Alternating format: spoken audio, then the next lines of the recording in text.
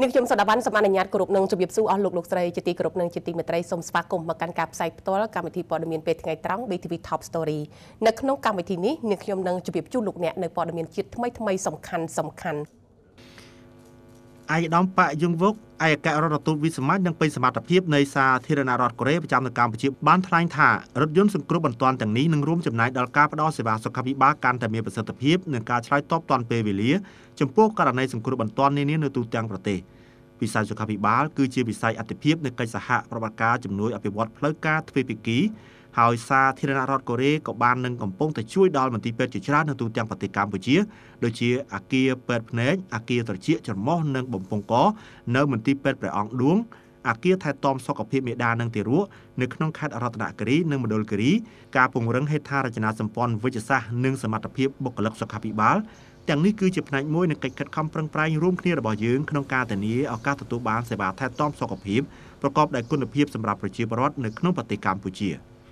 ឯកឧត្តមសាស្ត្រាចារ្យឈៀងរ៉ារដ្ឋមន្ត្រីក្រសួងសុខាភិបាលបានថ្លែងថារថយន្តកលៀនសង្គ្រោះចំនួន15គ្រឿងក្រោមជំនួយឥតសំណងពីប្រជាជននិងរដ្ឋាភិបាលនៃសាធារណរដ្ឋកូរ៉េ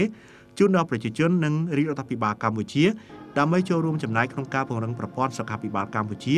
ក៏សូមឯកភាពទាំងស្រុងនៅប្រសាសន៍របស់ឯកឧត្តមឯករដ្ឋទូតចាប់តាំងពីការបង្កើតទំនាក់ទំនងការទូត រវាងកម្ពុជានិងកូរ៉េនៅក្នុងរយៈពេល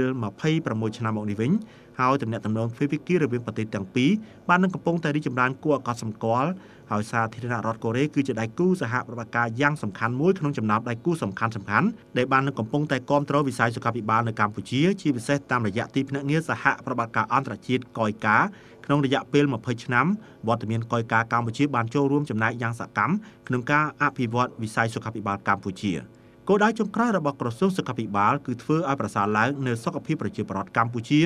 និងកាត់បន្ថយអត្រាឈឺហើយនិងអត្រាមរណភាពដោយសារតែជំងឺដែលបណ្ដាលមកពីគ្រោះអាសន្ន